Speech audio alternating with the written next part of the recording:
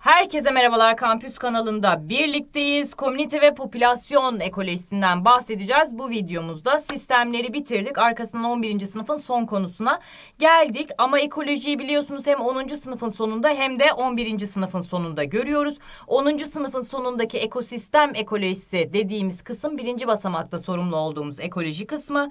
Komünite ve popülasyon ekolojisi ise ikinci basamakta sorumlu olduğumuz kısım olacak. Komünite ve popülasyon ekolojisinden de mutlaka mutlaka bu sene soru gelecek gençler. İki diye tahmin ediyorum. En az bir veya iki tane sorusu mutlaka bu videodan çıkacak. Hadi başlayalım.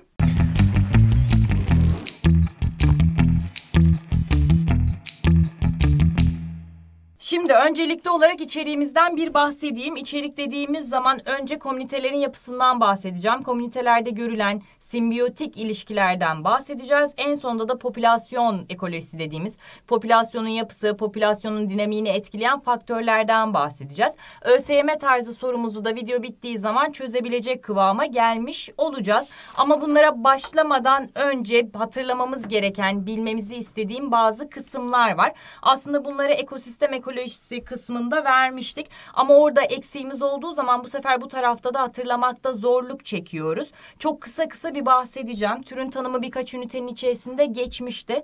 Çok basit olmasına rağmen daha önce üniversite sınavında da türün tanımı çıktı. İnsan zorlaması olmadan çiftleşebilen, çiftleştiğinde verimli döl verebilen canlı topluluğu bizim için aynı tür demekti. En en en önemlisi verimli döl yani kısır olmayan bireyler meydana getirebileceklerdi. Yani iki canlı çiftleşecek, çiftleştikleri zaman bunların çocukları olacak, çocuklarının çocukları da olacaktı. Daha sonra aynı tür canlılar sınırları belli bir alanda toplandığı zaman popülasyonlar meydana geliyordu. Popülasyonlar bir araya geldiği zaman komüniteler, komüniteler bir araya geldiği zaman ekosistemleri meydana getiriyordu. Ekosistemler de biyosfer ve ekosfere dediğimiz kavramı oluşturuyorlardı. Yani şey gibi düşünebilirsin. Aynı tür canlıları belli bir alanda topladım. Onlar artık popülasyon oldu. İstanbul'daki kelaynak kuşları dedim. Sınırları belli bir alan tek bir türden bahsediyorum.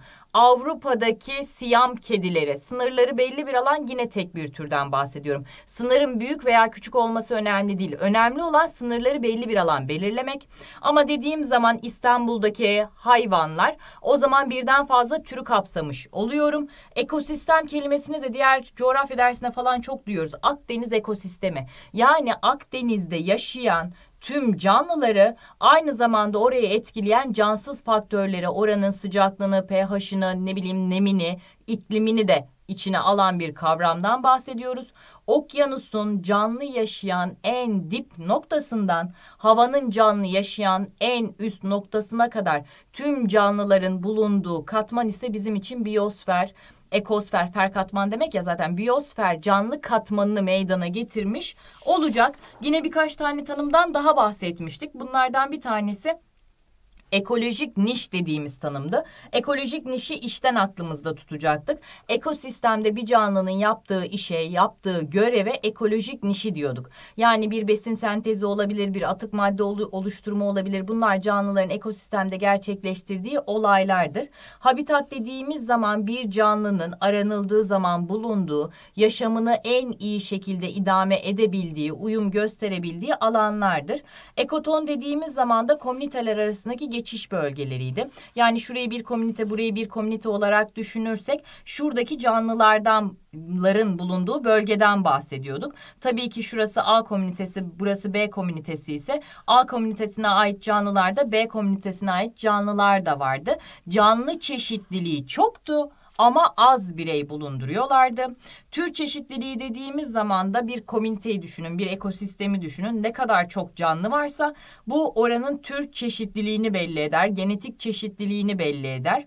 E bunlara da baktığımız zaman tür çeşitliliğini hocam peki neler etki eder?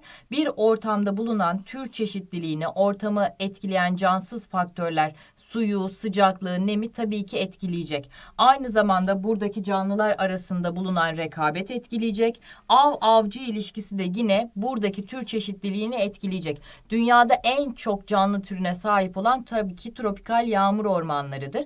Burada tür çeşitliliğinin fazla olması, çok su alması, oranın iklimsel özellikleri, canlıların devamlı olarak birbiriyle etkileşim içerisinde olmasından kaynaklanıyor.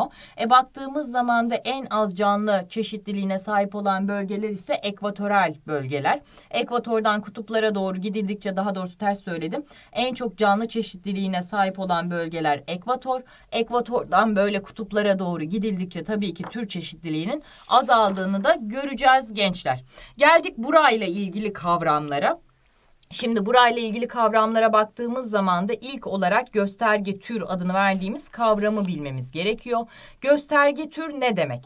Ekolojik toleransı yani yaşayabileceği alan düşük olan canlılardan, çevresel faktörlerden en çok etkilenen canlıdan bahsediyoruz. Tolerans ne demek? Bir canlının uyum gösterebildiği alan demek. Canlının toleransı ne kadar fazlaysa o kadar çok yerde görürsün onu. Mesela bir bitki türünü düşün. Eksi 5 santigrat derece ile 20 santigrat derece arasındaki sıcaklığa tolerans gösteriyormuş. O zaman dünya üzerinde yayılışı eksi 5 ile 20 arasında bir sürü alanda olacak. Ama bir bitki türü var illa 15 ile 18 santigrat derece arasında yaşayabiliyor. Başka hiçbir sıcaklıkta yaşayamıyor. O zaman bunun toleransı sıcaklığa düşük. Daha az dilimde yaşayabiliyor.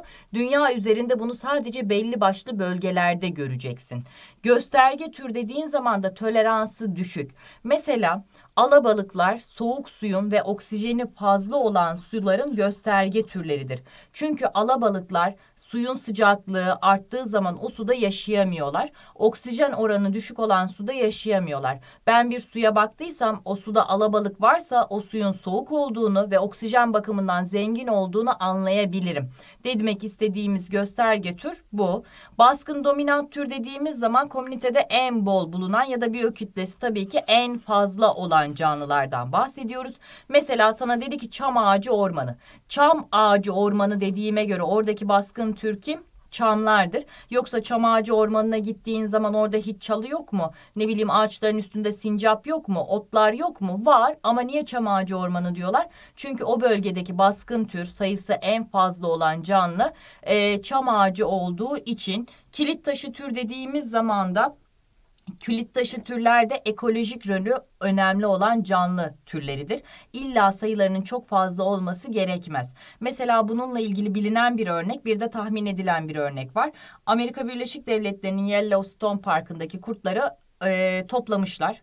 Kurtları topladıkları zaman oradaki geyiklerin sayısı aşırı derecede artmış. Geyiklerin sayısı artınca bu sefer ortamdaki bitki örtüsünün miktarı aşırı derecede azalmış. Bitki örtüsünün yapısı, toprak yapısının değişmesi, oradaki akarsuların akış yönünün bile değişmesine sebebiyet vermiş. Tabii burada bir sürü bir sürü bir sürü canlılarda da değişiklikler meydana gelmiş. Yani ekosistemde çok büyük öneme sahip olan canlılara kilit taşı tür adını veriyoruz. Hani derler ya arılar dünyadan yok olursa dünya 50 sene içerisinde biter. Bütün ekosistemleri tahrip olur. Ya bir canlı türünden bahsediyoruz. Dünyada nesli tükenen canlı mı yok? Bir sürü canlının nesli tükendi. Bu arıların ne özelliği var ki arıların nesli tükenirse dünya 50 sene içerisinde yok olacak? Çünkü arılar bitkilerin tozlaşmasının yüzde seksenini gerçekleştiriyorlar. Kalan yüzde yirmilik kısmı da kuşlarla, böceklerle, suyla, rüzgarla falan gerçekleşiyor. E sen arıların neslini tüketmen demek tozlaşmanın da yüzde seksen oranında azalması anlamına gelecektir. Yani büyük ihtimalle size bir paragraf verecek. Pa verdiği paragrafın içerisinden yorumlamanızı isteyecek. Çünkü biz de soru yazarken bakıyoruz istilacı Türk'üm, kilit taşı Türk'üm, hangi örneği bulabiliriz? Çok bilmeye gerek yok. Bir tane olay metni verecek. Metnin içerisinden bizim çıkartmamızı bekleyecek gençler. İstilacı tür dediğimiz zaman ekosisteme değişik yollarla gelen canlılardan bahsediyoruz. Bu canlılar herhangi bir yolla ekosisteme giriş yapıyorlar. Daha sonra burada aşırı derecede çoğalıp ekosistemin yapısının bozulmasına sebebiyet veriyorlar. Mesela tutuyorlar bir tane gölde normalde Nil levreği yaşamıyor. Gidiyorlar o göldeki insanlar para kazansın, Nil levreği yetişsin diye ekosisteme tutuyorlar, Nil levreğini getiriyorlar. E normal şartlarda bulunmayan bu orta bu yere insan eliyle Nil levreği dediğimiz canlı geldiği zaman oradaki diğer balık türlerinin yok olmasına, buna bağlı olarak bir sürü mikroorganizmanın canlı türünün yok olmasına veya ortaya çıkmasına sebebiyet veriyor. O ekosistemin yapısını e, tamamıyla bozuyor. Yani istilacı tür o ekosistemde istemediğimiz zaten o ekosisteme ait olmayıp herhangi bir faktörle ki büyük ihtimalle insan faktörüyle oraya getirilen canlı türü oluyor gençler deyip komünitelerin yapısına hemen bir giriş yapalım. Aslında anlatacağımız şey bu. Bundan çok fazla derecede bahsedeceğiz. Öncelikli olarak rekabet ve av-avcı ilişkisinden bahsedip sonra simbiyotik ilişkileri size açacağım.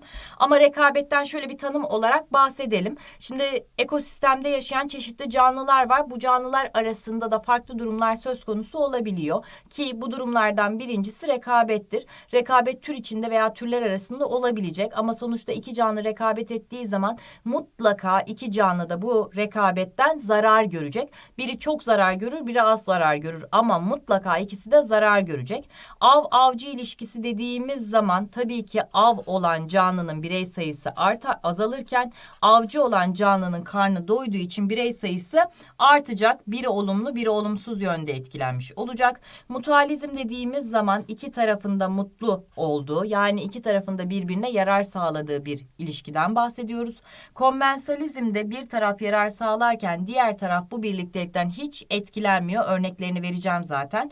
Parazitizm dediğimiz zaman konak canlının zarar gördüğü, parazit olan canlının ise yarar gördüğü bir ilişkiden bahsediyoruz. Ammensalizm dediğimiz zaman da bir canlı bu durumdan hiç etkilenmezken diğer canlının zarar gördüğü birliktelikler tabii ki örneklerinin üstünden çok fazla derecede açacağım. Komünitelerdeki ilişkilerden birincisi neymiş? Rekabetmiş. Rekabet dediğimiz zaman hem tür içinde hem de türler arasında görülebilir. Ya hocam canlılar neden rekabet etsinler. Birçok şeyden dolayı rekabet edebilirler ki siz bile kendi içerinizde tabii ki şu an rekabet halindesiniz. Bir sınavı kazanmak için birbirinizi elemeye çalışıyorsunuz. Birbirinizle rekabetten ee, iyi bir sonuç almak istiyorsunuz. Ama tabii ki biz ekosistemlerden bahsediyoruz.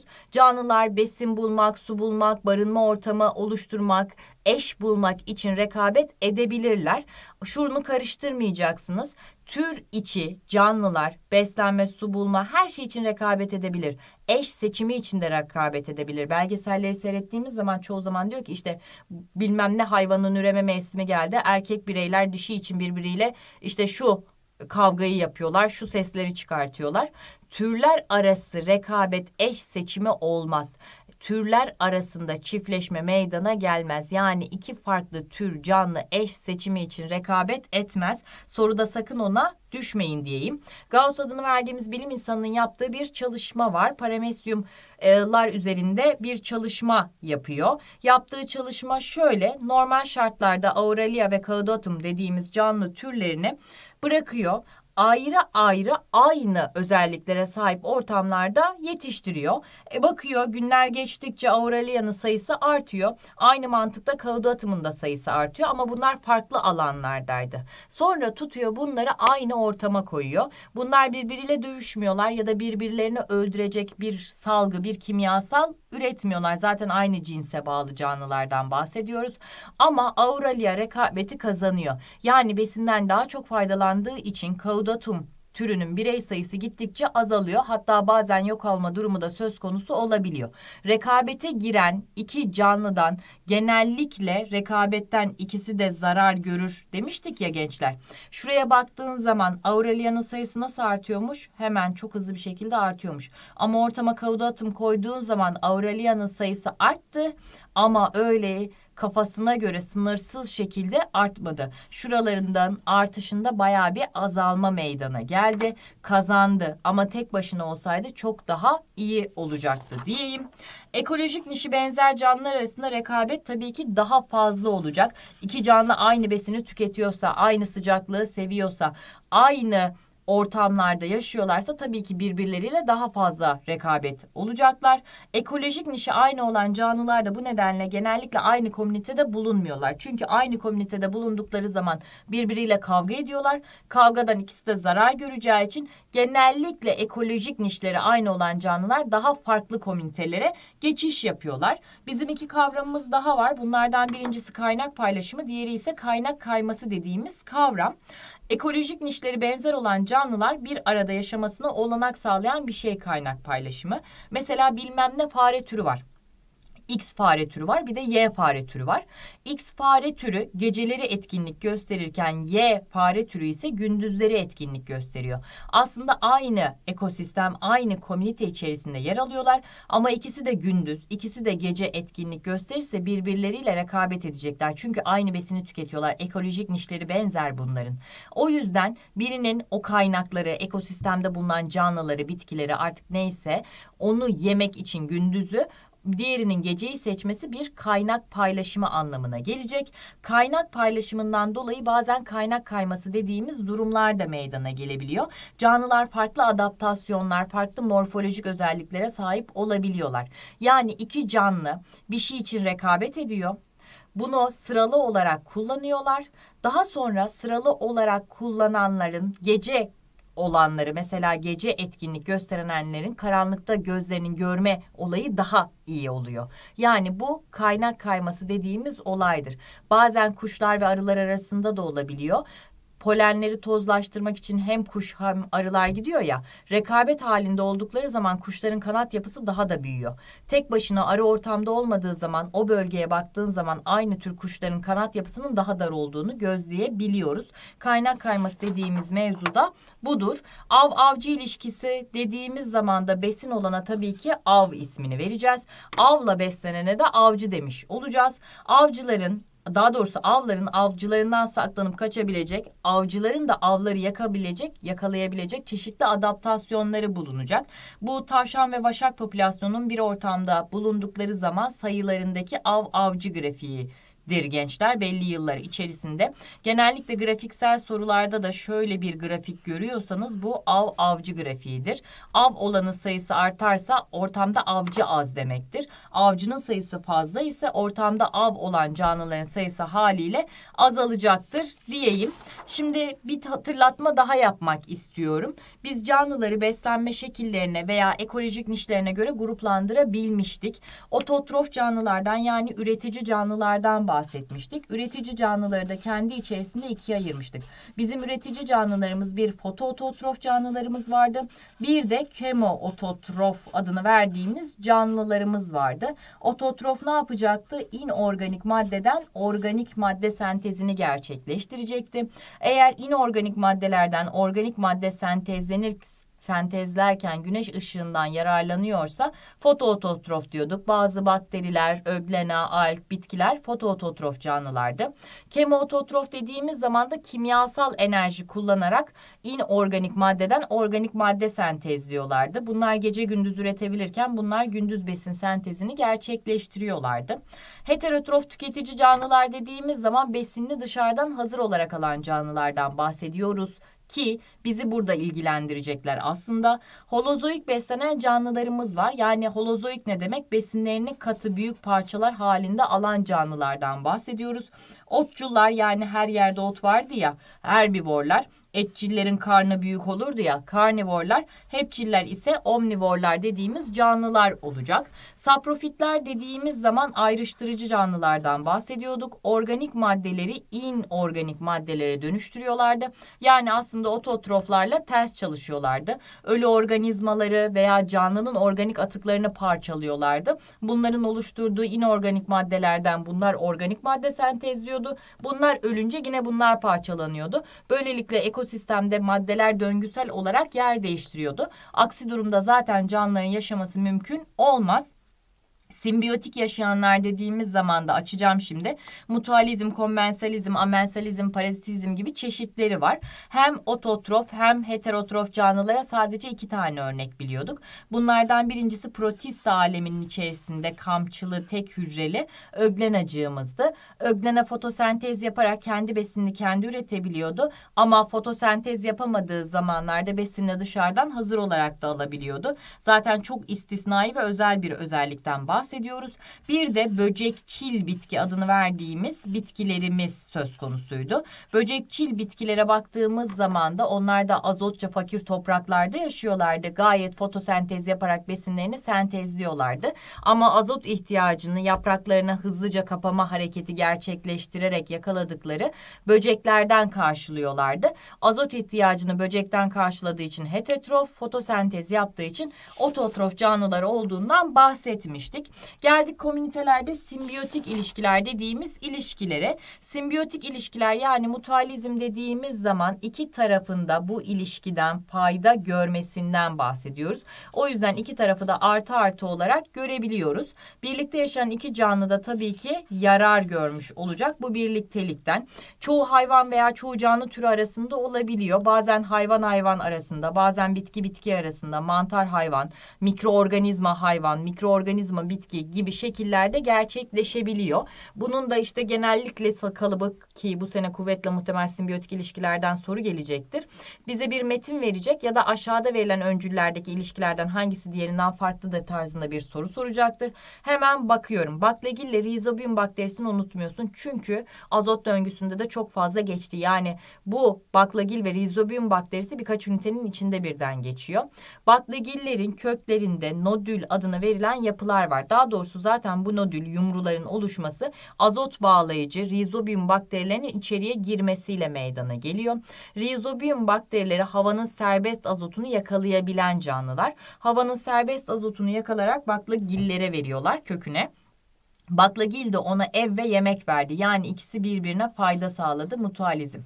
Anemon ve palyaço balığı dediğimiz bir birliktelik de çok fazla derecede karşımıza çıkıyor. Palyaço balığı anemonun içerisine saklandığı zaman avcılarından korunmuş oluyor. Anemonda palyanço balığı sayesinde başka canlılara av olmaktan kurtuluyor. Böylelikle ikisi arasında bir yarar ilişkisi var. Mantar ve algi unutmuyorsun. Mantar ve algler bir araya gelerek liken adını verdiğimiz birlikleri meydana getiriyorlar o kadar birlikte yaşamaya adapte olmuşlar ki bunlara mantar ve alg birlikteliği demiyoruz da liken adını verdiğimiz başka bir isim söylüyoruz. Peki bu ilişki nasıl gerçekleşiyor? Biliyorsun ki alg fotosentez yapar. Alg fotosentez yaparak ürettiği besinleri mantarlara veriyor. Mantarlar da birlikteliğin su ihtiyacını, işte ortam tutunma ihtiyacını karşılıyor. İki taraf birbirine fayda sağladığı için bizim için mutualizme örnek oldu. Ben ve benim kalın bağırsağımda B ve K vitamini üreten bakteriler vardı. Onlar B ve K vitamini ver ürettiği için ben mutluyum. Ben de onlara ev ve yemek verdim. Onlar mutlu. Vücudumdaki her bakteri benim için zararlı değildir. E, kalın bağırsağımdaki B ve K vitamini üreten bakteriler benim için faydalı oluyor. Timsah ve kürdan kuşu dediğimiz bir durum da söz konusu. Şimdi timsah yemek yedikten sonra gidiyor güneşin altına yatıyor. Soğukkanlı bir canlı ya vücut sıcaklığını arttıracak ki metabolizması artsın. Sonra ağzını açıyor. Ağzını açtığı zaman kürdan kuşu adını verdiğimiz kuş gelip bunun dişlerinin arasındaki yemek kırıntılarını parçalıyor. Baktığın zaman timsahın dişleri temizlendi. Kürdan kuşunun karnı doydu. İki taraf birbirine yarar sağladı sağladığı için mutualizm örneği oluyor. Ama mutualizmi de kendi içerisinde ikiye ayıracağız. Bir zorunlu mutualizm bir de gevşek mutualizm adını verdiğimiz mutualizm olacak. Hatta gevşek mutualizme proto, ko, operasyon şıklarda görürseniz aklınızda kalsın. Böyle uzun uzun yazdığı bir kelime aslında gevşek mutualizm anlamına gelecek. Protokooperasyon dediğimiz gevşek mutualizm iki canlı birbirine fayda sağlıyor. Ama bu iki canlı birbirinden ayrılırsa dünyanın sonu gelmez. Timsahla kürdan kuşu birbirinden ayrılırsa timsahın dişleri temizlenmez. Kürdan kuşu da başka bir yerden besin e, eldesini sağlar. Yani ayrı da yaşayabilirler. Bu gevşek mutualizm örneğidir. Ama mantar ve algler birbirinden ayrıldığı zaman mesela bu zorunlu mutualizmdir. Bayağı bir zarar görüyor. Mantarlar da zarar görüyor. Algler de bu ayrılıktan zarar görüyorlar. Geldik kommensalizm dediğimiz birlikteliğe. Canlılardan bir tanesi hiç etkilenmezken diğerinin fayda gördüğü birlikteliklerden bahsediyorduk. Tabii ki baktığımız zaman gençler çok fazla derecede örneğimiz yok. Birlikte yaşayan iki canlıdan biri yarar görür, diğeri de etkilenmez dedik ya. Mesela köpek balığı ve etrafında yüzen vantuzlu remore balığı adını verdiğimiz ya da vantuzlu balık dediğimiz balıklar var. Köpek balığı gidiyor avını parçalıyor. Köpek balığı avını parçaladığı zaman avından parçalar, kırıntılar etrafa yayılıyor. Köpek balığının etrafında yüzenler de kırıntılarla besleniyor. Yani vantuzlu balığın karnı doydu köpek balığını etkileyen bir şey olmadı. Zaten o avı parçalamıştı. O artıkları birinin yemesi onu etkilemeyecek. Sığır kuşuyla geyiğin de şöyle bir hikayesi var. Geyiklerin üstünde sığır kuş adını verdiğimiz kuşlar bulunuyor. Bunun sırtında bulunan atıklarla bazen mikroorganizmalarla falan besleniyorlar. Eğer mikroorganizmalarla beslendiği için bu parazitlerinden kurtuluyorsa, bunun da karnı doyuyorsa ikisi de fayda görüyordur. O zaman mutualizm olacak. O zaman parçada ikisi mi fayda görüyor? Yoksa geyik hiç etkilenmiyor. Geyik öyle de yaşardı mı? O kısma dikkat etmeniz lazım. Burada kuşların karnı doyuyor. Geyin bu durumdan etkilenmesi söz konusu değil diyeyim gençler. O yüzden yazılan metin bizim için önemli. Amensalizm dediğimiz zaman biri bu birliktelikten hiç etkilenmezken diğerinin zarar gördüğü ilişkiden bahsediyoruz. Birlikte yaşayan iki canlıdan biri zarar görür, diğeri etkilenmez. Bunda da tek bildiğimiz örnek ceviz ağacı ve altındaki bitkiler. Şimdi biliyorsunuz hurafelerimiz var ya ceviz ağacının altından gece geçilmez, gece geçersen bilmem başına şu gelir bu gelir. Zaten ceviz ağacının altında hayır olsaydı onun altında bitki türü yetişirdi falan gibi söylemler vardır ya. Onların ne kadar boş olduğunu şimdi anlayacağız. Ceviz ağacının yapraklarından juklon adını verdiğimiz bir kimyasal salgılanıyor. Bu salgılanan kimyasal toprağa yağmur sularıyla birlikte akıyor, toprağa karışıyor. Toprağa junklon adını verdiğimiz madde karıştığı zaman cevizin altında diğer bitkiler yetişemiyorlar. Diğer bitki türlerinin yaşamasına izin vermiyor. Ceviz bu durumdan etkilenmezken altında yaşayan bitkiler bu durumdan olumsuz yönde etkilenmiş oluyorlar gençler. Parazitizm dediğimiz zaman da birlikte yaşayan canlıların birinin bu birliktelikten yarar gördüğünü ki kimden bahsediyoruz? Parazitten. Diğerinin konağın ise zarar gördüğü birlikteliklerden bahsediyoruz. Yarar görene ne diyecekmişiz? Parazit veya konakçı. Zarar görene ise konak ismini vereceğiz. Ha burada anlatmak istediğim birkaç şey var size. Şimdi bizim bir tek hücreli parazitlerimiz var. Tek hücreli parazitler dediğimiz zaman işte bazen solunum sistemi rahatsızlıklarına sebebiyet falan veriyorlar ya bazı bakteriler.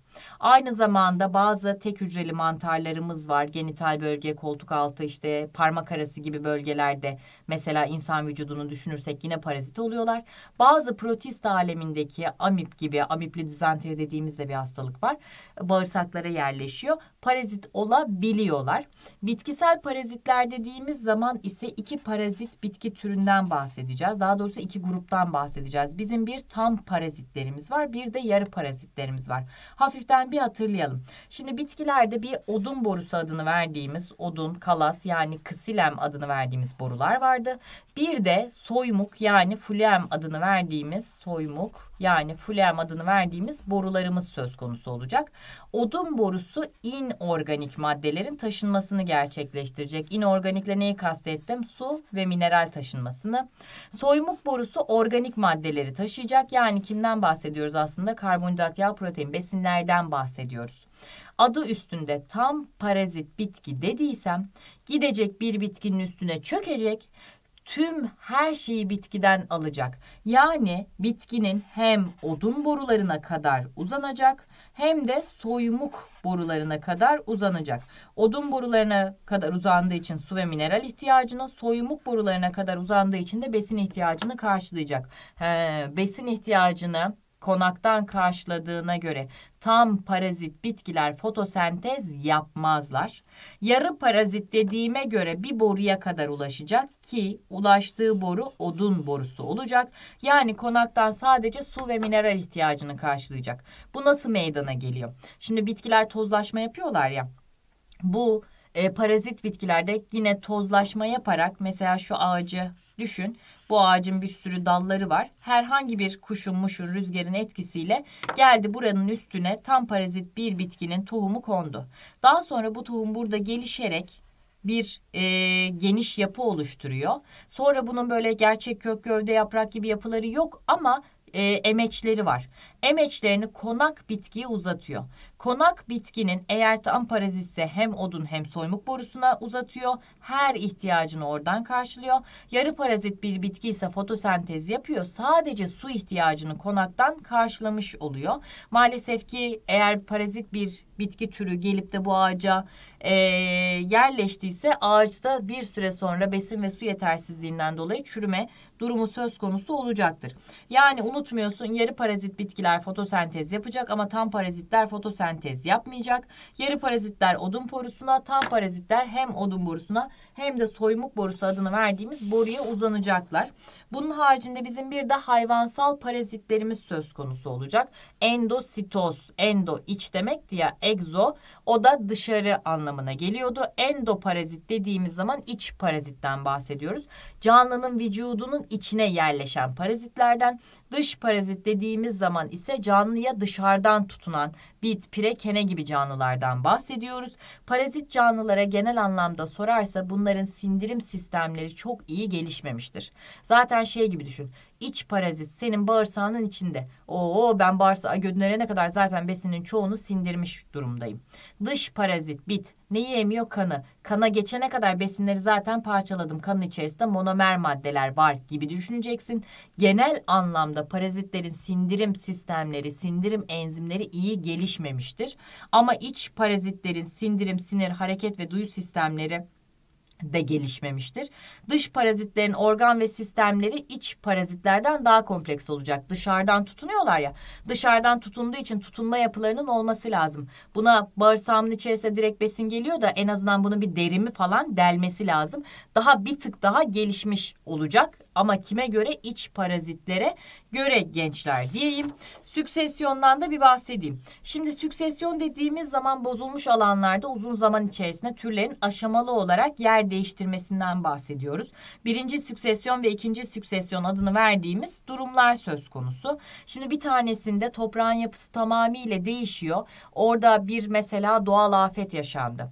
Yanardağ patladı. Yanardağ patlayınca yanardağdan akan lavların etkisiyle dağda bulunan bütün canlı türleri, hayvanlar, bitkiler öldü. Lavların etkisiyle toprağın yapısı da değişti. Daha sonra yavaş yavaş toprakta yeniden canlılaşma söz konusu oluyor. Önce bakıyorsun orada işte tek hücreli canlılar, alkler, makler geldi. Sonra otlar, sonlar, çalılar, fundalar, ağaçlar meydana geliyor. Yani sıralı bir değişim meydana geliyor.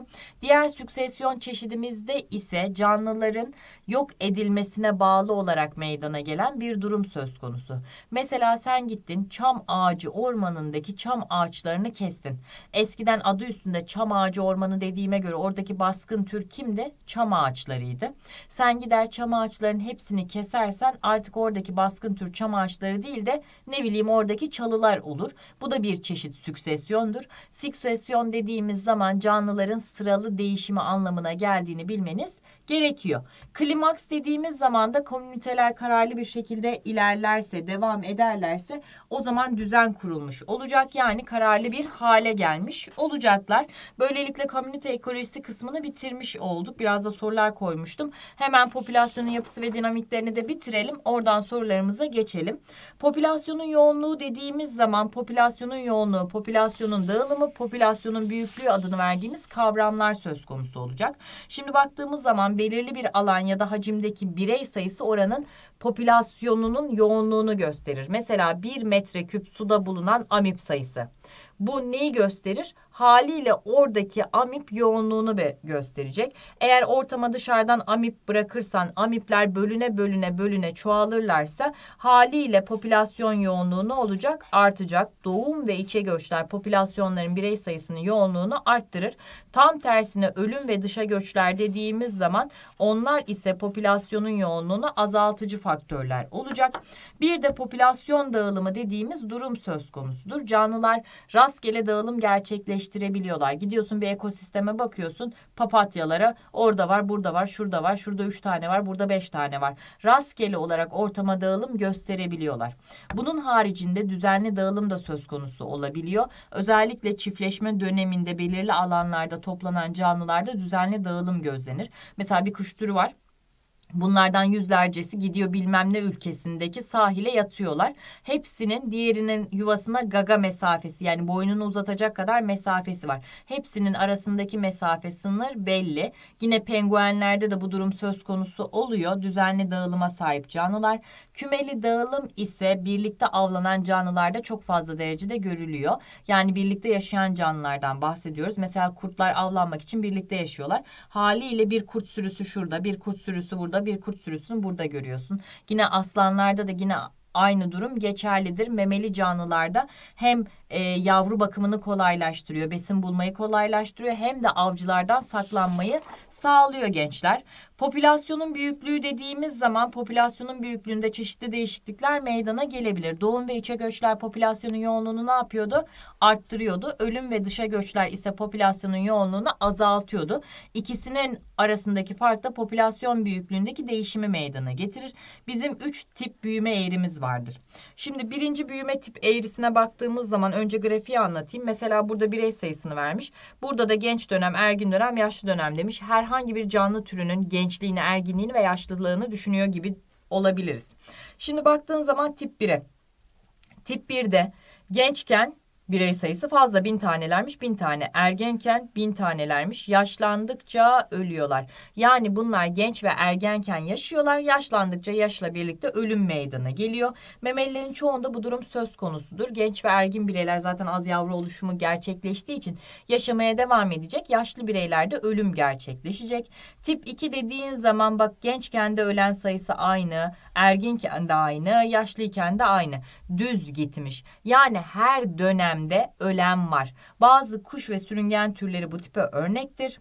Şuna da baktığım zaman tip 3'e genç yaşta ölüm sayısı fazla. Şu genç yaşı atlattıkları zaman yaşlı bireylere doğru tabii ki ölüm meydana gelecek ama genç bireylerde daha fazla meydana geliyor. Şey gibi düşünebilirsin bir tane örnek üstünden anlatayım mesela. Balıklar dış döllenme dış gelişme yapıyorlar ya. Erkek balık geliyor buraya bin tane sperm bırakıyor. Dişi balık da geliyor bin tane yumurta bırakıyor. Bin bin döllenemiyorlar. Bin yumurta bin sperm gelmişti ama atıyorum 800 tanesi döllendi. Bu 800 tanesinin 200 tanesi suda giderken sürükleniyor ölüyor 600 tane kalıyor. 600 tanesinin 300'ünü diğer balıklar yiyor. Kalıyor geriye sana yine 300 tane. 300 tanesi tam ergin döneme girerken 50 tanesini daha kaybediyorsun. Hop 250 tane.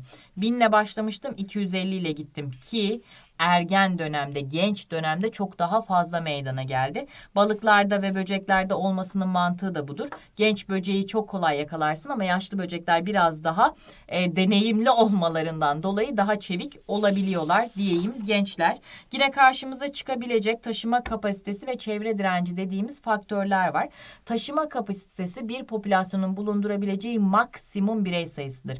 Yani bir popülasyon en fazla alabileceği birey sayısından sayısından bahsediyoruz. Artık taşıma kapasitesini aştıysa popülasyon tekrar taşıma kapasitesine ve altına düşmek için bazı durumlar gerçekleştirir. Ne gibi? Mesela sen tuttun sınırları belli bir alan verdin. Sınırları belli bir alanda her gün düzenli olarak da besin veriyorsun. Buralara fareleri koymuştun. Her gün Fareleri veriyorsun 2 oldular, 10 oldular, 20 oldular, 30 oldular. Sen de besini arttırdın. Güzel besin veriyorsun, veriyorsun, veriyorsun. Hiç sıkıntı yok. Herkese yetecek kadar besin veriyorsun. Ama kapalı bir alanda oldukları için taşıma kapasitesi arttı. Eskiden 1 metrekareye bir fare düşerken şimdi atıyorum işte 1 metrekareye 15 tane fare düşüyor. Haliyle bunların içerisinde alan kavgası çıkacak ve tekrardan birey sayılarını düşürecekler. Alanı kapalı vermeseydin, açık bir alan verseydin ama her gün sabit miktarda besin verseydin birey sayısı artacak, artacak, artacaktı. Sonra çok oldukları için besin yeterli gelmeyecekti. Besin için kavga etmeye başlayacaklardı.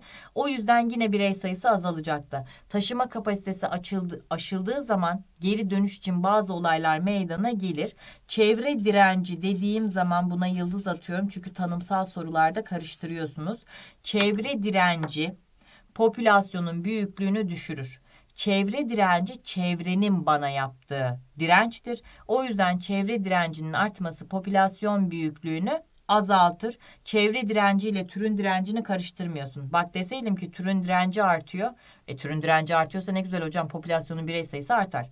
Çevre direnci artıyorsa çevrenin bana yaptığı direnç popülasyonun birey sayısı azalacak. Popülasyonlarda tabii ki büyüme eğrilerimiz de görülecek. Bir J tipi büyüme eğrimiz bir de S tipi büyüme eğrimiz var. J tipi büyüme eğrisi dediğimiz zaman hiçbir sıkıntıları yokmuş. Ekmek elden su gölden birey sayısının çok fazla derecede hızlı bir şekilde taşıma kapasitesine ulaştığı grafiklerdir gençler. Yani burada 2, 4, 8, 16, 32, 64 geometrik bir artış söz konusudur. Taşıma kapasitesine ulaşmış. S tipi büyüme eğrisinde de taşıma kapasitesine ulaşıyorsun ama J tipi gibi hızlı hızlı değil.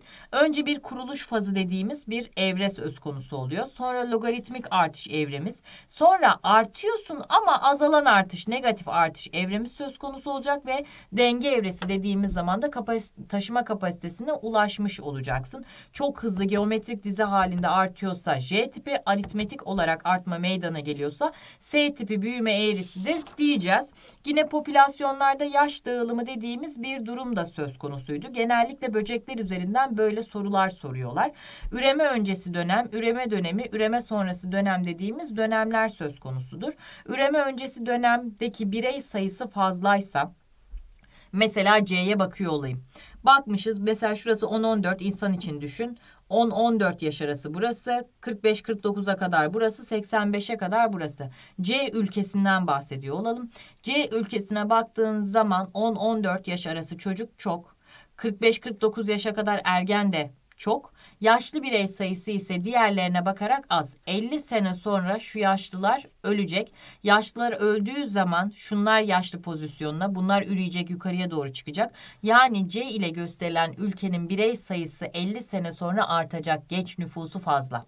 Sonra diğerlerine baktığımız zaman ise daha farklı farklı durumlar söz konusu olabiliyor. Tam tersine genç birey sayısı az ise o zaman da o ülke bir süre sonra e, sıkıntılanacaktır. Çünkü nüfusunda azalma olacaktır. Bir grafik daha vardı oradan göstereyim size. Mesela şöyle bir baktığımız zaman Kenya'yı vermişiz. Kenya'ya baktın genç birey sayısı fazla. İşte normal ergenler, üreme dönemindeki bireyler, bir de yaşlılar. Yaşlılar ölecek. Bunlar zaten yukarıya doğru çıkacak. Yani Kenya'ya baktığın zaman hızlı büyüme dönemi söz konusu olacak. ABD'ye baktığımız zaman gençler var ama üreme dönemindeki birey sayısı daha fazla. Yani bu da büyüyecek genci de var sonuçta ama yavaş bir büyüme gösterecek. Buraya baktığın zaman İtalya'ya ise sıfır büyüme dediğimiz durum söz konusu olacak. Bazen ülkelerin grafiklerine bakıyoruz. Şöyle bir grafik olduğunu görüyoruz. Yaşlılar burası, e, üreme dönemindekiler burası, gençler burası. Gençler burası olursa ne olacak? Şu yaşlılar ölecek 50 sene içerisinde. Genç nüfus o kadar az ki bu ülkenin nüfusu uyduruyorum 5 milyon ise 50 sene sonra bu ülkenin nüfusu 4 milyona düşecek. Nüfusların artması bununla ilgili planlamalar yapılırken bu ülkelerde nüfus düşecek. O zaman da ülkeler tabii ki ne yapıyorlar? İnsanları çocuk yapmaya teşvik edici, çocuk parası gibi siz çocuk yapın eğitimini biz karşılayacağız. Siz çocuk yapın size aylık para bağlayacağız gibi durumlar durumlar söz konusu oluyor. Ülkeler 10 yıllık 20 yıllık kalkınma planlarını yapmazlar. 50 senelik 100 senelik planlarını yapmak durumundadır diyeyim. Gençler yine hepsini toplu halde vereceğim bir yere geldik. Popülasyonun büyüklüğünü etkileyen faktörlerimizden bahsedeceğiz. Haliyle kendi üstümden de düşünebilirim. Yaşam alanının artması popülasyon büyüklüğünü tabii ki ne yapacak? Arttıracak. Ne kadar çok alan verirsen o kadar çok popülasyonlarımız büyür. Salgın hastalıklar, e, salgın hastalıkların artması artması yazayım şuraya. Salgın hastalıkların artması ise popülasyonların büyüklüğünü azaltacak çevre direncinin artması. He, çevrenin bana yaptığı direnç. O zaman popülasyonun büyüklüğünü azaltacak. Besin kıtlığı tabii ki popülasyonun büyüklüğünü azaltır. Dışa göç ve ölümler popülasyonun büyüklüğünü azaltırken içe göç ve doğumlar popülasyonun büyüklüğünü arttıracak diyeyim. Gençler bu kalıpların üstünden soru çıkacaktır. Mesela türün direncinin artması popülasyon büyüklüğünü tabii ki arttırır. Hemen bir soru çıktı karşımıza. Birkaç soru koydum demiştim. Yine yaz yazmış bize yukarıda uzun uzun hangileri mutalizme örnektir diyor. Şimdi baktım timsah ve kürdan kuşu zaten kafamda hemen canlandı ama bilmediğim bir canlı üzerinden de yazabilir. Timsah ve kürdan kuşu arasındaki birliktelikte kürdan kuşu timsahın dişlerinin arasındaki kalıntılarla beslenir. Timsahın dişleri temizlenir. O zaman simbiyotik ilişkilerden hangileri mutalizme örnektir diyorsa biri aldım. İnsanın bağırsağında yaşayan B vitamini üreten bakteriler bağırsağı barınak ve besin kaynağı olarak kullanırken insana da ne yapıyormuş? B vitaminini veriyorlarmış. İki tarafta birbirinden yarar gördüğüne göre mutalizme örnek oldu. Bak kaperi bitkisi hiç bahsetmemiştik. Kaperi bitkisi üzerinde bulunan canavar otu dediğimiz zaman tam parazit bitkilere örnektir. Be bitkisi besin, su ve mineral ihtiyacını kaperi bitkisinden karşılıyor. O zaman burası bizim için parazitizm örneği oldu. Baklagillerin köklerinde bulunan rizobium bakterileri havanın serbest azotunu yakalayıp baklagile veriyormuş. Baklagilden de besin ihtiyacını karşılıyormuş. Bu da bizim için mutalizm. Deniz mercanlarıyla palyanço balığına baktığımız zaman deniz mercanları bu balığı koruyormuş düşmanlarından. Palyanço balığı da diğer balıklardan deniz mercanlarını yemesini engelliyormuş. Diğer balıklardan mercanları koruyormuş. İki tarafta yarar gördüğüne göre zaten üç parazitizm kalanların hepsi mutalizme örnek oldu. Yarı parazit bitkilerle ilgili bir soru gelmiş. Tam parazitlerle kıyasını istemiş. Kök bulundurmama dediğimiz zaman ister tam parazit ister yarı parazit olsun. Yarı parazit bitkilere en çok karşınıza çıkacak olan ökse otudur. Tam parazit bitkilere de en çok karşınıza çıkacak olan sorularda canavar otu dediğimiz bitki türüdür. İkisinin de kökleri yok, emeçleri var. Bu emeçler ile uzanma işini gerçekleştiriyorlar. Yani kök bulundurmama ikisinde de ortak olarak bulunacak. Fotosentez yapma dediğimiz zaman yarı parazitler yapıyor ama tam parazitler fotosentez yapmıyor. Besin ihtiyacını da konaktan karşılıyorlardı. Konaktan su ve mineral ihtiyacını ikisi de ortak olarak alacaklar. İkisi de odun borularına uzanacaklar. Yani cevabımız 1 ve 3 oldu diyeyim gençler. Hemen diğer sorumuza geçiyorum. Biyolojik çeşitliliğin azalmasına verilenlerden hangileri sebep olur? Biyolojik çeşitliliğin azalmasına av yasakları bir kere biyolojik çeşitliliği ne yaptırır? Arttırır. O yüzden diyorlar ki işte şu mevsimle bu mevsim arası balık yakalamak yasaktır. O haberlere çıkıyor. Eylül'ün biri geldi işte balık av yasağı kalktı. Av yasağı yapmaktaki amacı ne? Balıklar daha büyüyüp yumurta verecek ergenliğe varmadan biz balıkları toplarsak ertesi sene bu sefer denizdeki balık sayısı iyice azalıyor. Hızlı nüfus artışı tabii ki biyolojik çeşitliliği maalesef ki azaltıyor. Nüfusumuz çok arttığı için dünyayı çok fazla derecede istila ettiğimiz için diğer canlıların e, yaşam alanlarını ellerinden alıyoruz. Böylelikle biyolojik çeşitlilik de azalmış oluyor. Besin kıtlığı tabii ki çeşitliliğin azalmasına sebep olur. Doğal afetlerde çeşitliliğin azalmasına sebep olacaktır. 2, 3 ve 4 şeklinde olacak diyeyim gençler. Sonra diğer sorumuza geçtik. Popülasyonlar ile ilgili yukarıda verilen açıklamalardan hangileri doğrudur? Çevresel sınırlamanın olmadığı popülasyonlarda J tipi yani o sınırlama yoksa bunlar alıp başına gidiyor. Hızlı hızlı büyüyorlardı. O zaman bu bizim için doğru. Çevre direncinin artması popülasyon büyüklüğünü arttırır. Sakın düşmeyin diye üstüne basa basa söylüyorum. Çevre direncinin artması popülasyon büyüklüğünü azaltır. Bu gitti. Büyüyen popülasyonlarda yaşlı birey sayısı fazladır. Yaşlı birey sayısı fazla olanlar küçülen popülasyonlardır. Yaşlılar ölecek. Bu popülasyon bir süre sonra küçülecek. Bir popülasyonda bulunan maksimum birey sayısı taşıma kapasitesini gösterir. Bu bizim için doğruları soruyor değil mi?